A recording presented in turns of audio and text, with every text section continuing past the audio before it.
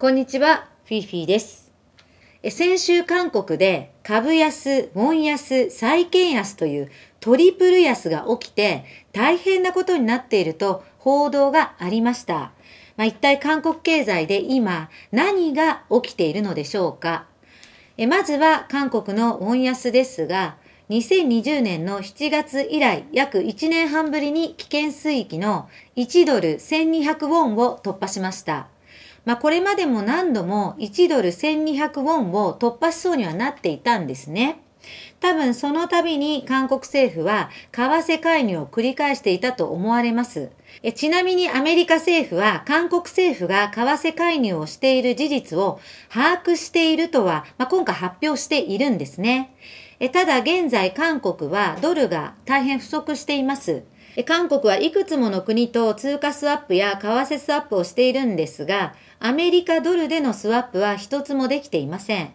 韓国が保有している通貨スワップの6割は中国との人民元建ての通貨スワップなんですね。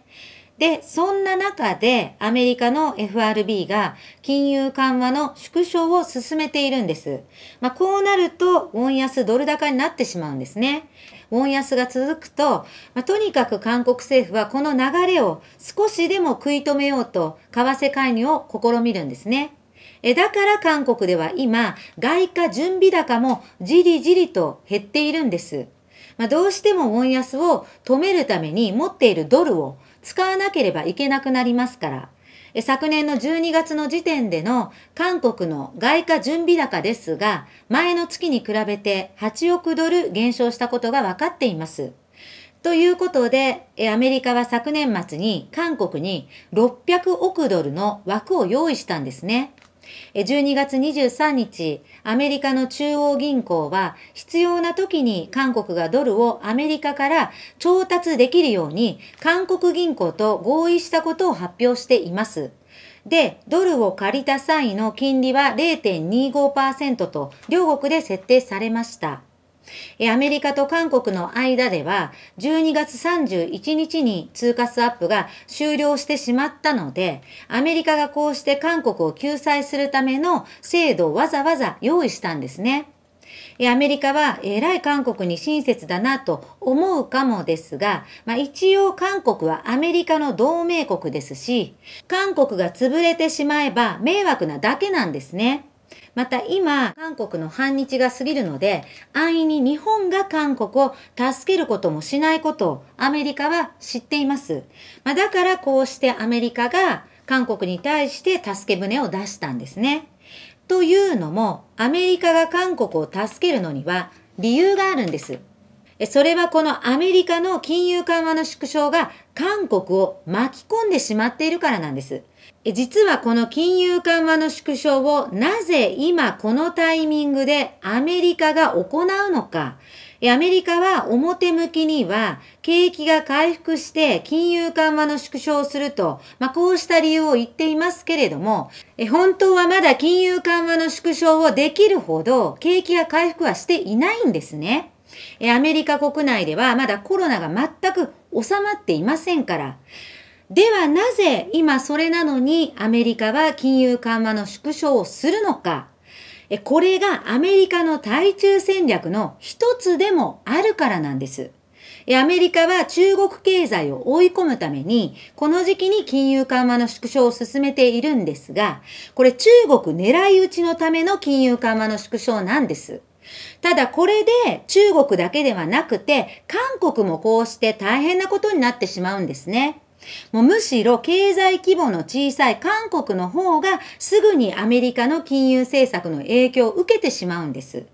だからアメリカはこの対中戦略に韓国を巻き込んでしまって、韓国に被害が出ることを分かっていたので、こうして韓国に対する救済措置を用意したわけです。ただ韓国政府がそれでもうまくウォン安を抑えられていないのか、ウォン安が進んで危険水域と言われる1ドル1200ウォンを突破してしまったんですね。そして同時に株価も、そして債券価格も下落しています。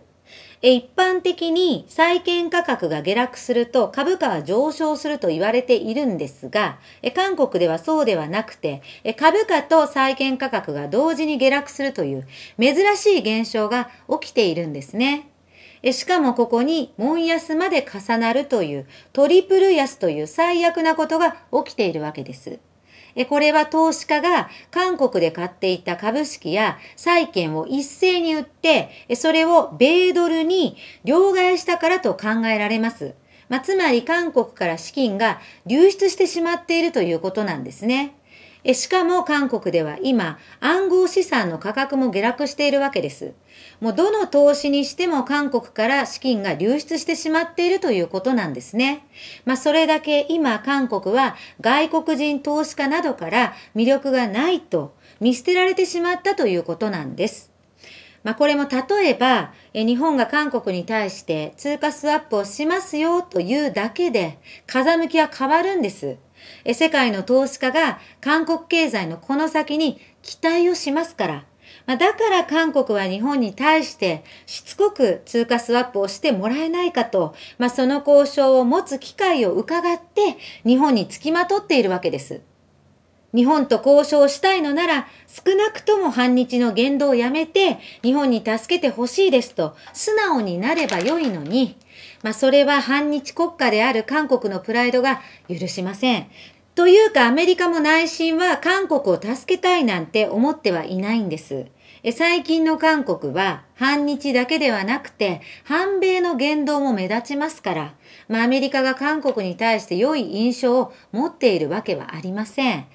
ただ、地政学的に韓国は重要な場所にあって在韓米軍を駐留させておく必要があるので、アメリカは韓国を仕方なく面倒見ているだけなんです。えもし韓国が賢くて、親米親日の振る舞いをしていれば、今頃韓国はアメリカにも日本にも助けてもらって、こんな経済どん底になることもなかったわけです。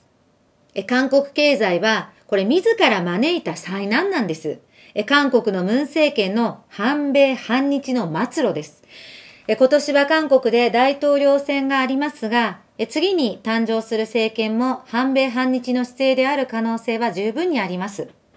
新政権になっても反米反日の体質が変わらない限り、韓国経済はさらに悪化するでしょうし、それどころか国際社会からも孤立していくでしょ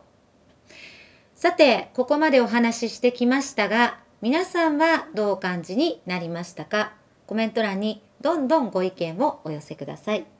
そして、フィーフィーチャンネルの登録もお願いします。